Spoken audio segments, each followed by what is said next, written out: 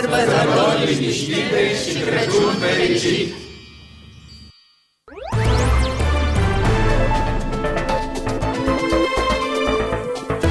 colindători le vom combina de data asta pentru că știm, în ajun de Crăciun românii primesc uh, colindători bogați sau sorac comul Ușa le nu deschide se închide, poarta, lumina nu, nu se pentru stinge. că de sute de ani această tradiție n-a lipsit din nicio casă.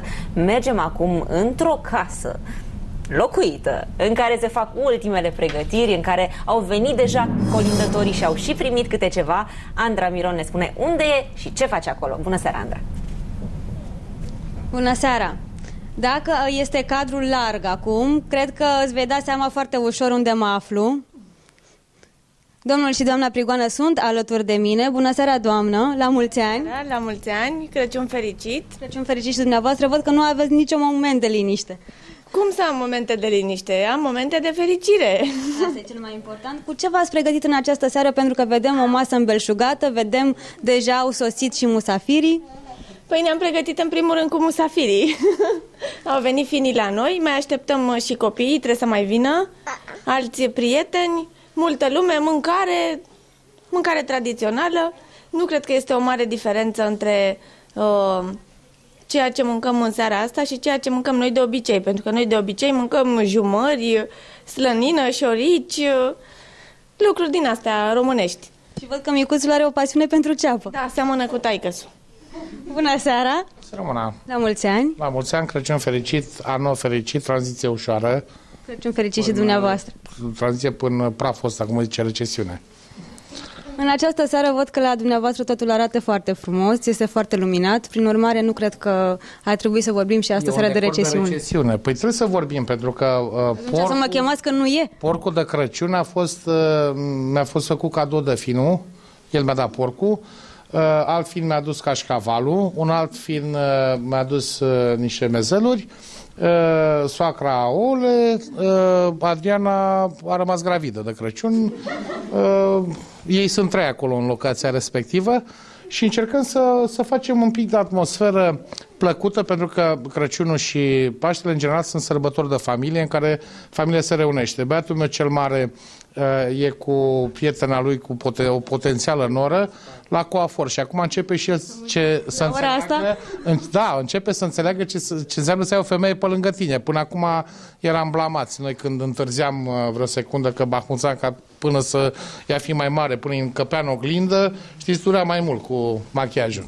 Văzând în această seară este foarte drăguț, arată foarte bine. Cine?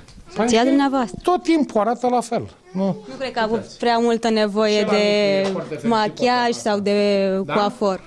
Da? Bravo! Bravo! Bravo! Sigur că da. Ca să nu fim uh, singuri la această masă, am invitat și uh, formația Capela. De fapt, Ana Maria și cu Laurențiu uh, ne-au făcut o surpriză. Te S-a rog, gândit ei că dacă ne-a dat porcul, de ce să ne dea și corul? Să fie și atmosferă. Dacă tot am vorbit de cor, am să mă ridic. Știu că a fost uh, invitația cor. dumneavoastră să mă așez aici, la masă. Știu. Nu e decor. Dacă Bună tot am seara. vorbit de Bună seara! Bună seara, bine v-am găsit. Bine ați venit! Spuneați că ați pregătit un uh, colind cu totul și cu totul special în această seară. Absolut și uh, îl oferim gazdelor și tuturor telespectatorilor uh, voștri cu sărbători fericite și Crăciun fericit. Crăciun La fericit, vă ascultăm. La sol, sol.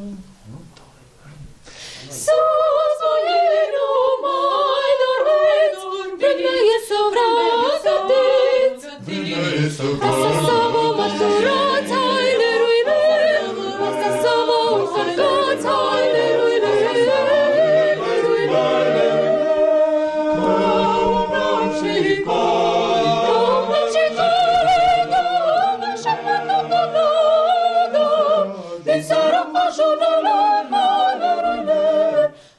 ciocăciunului, halerele. Bam, bam, din dam, din dam, din dam, din dam, din Sălașului Crăciun De s-a născut de frumos Haile lui lui Numele lui e frumos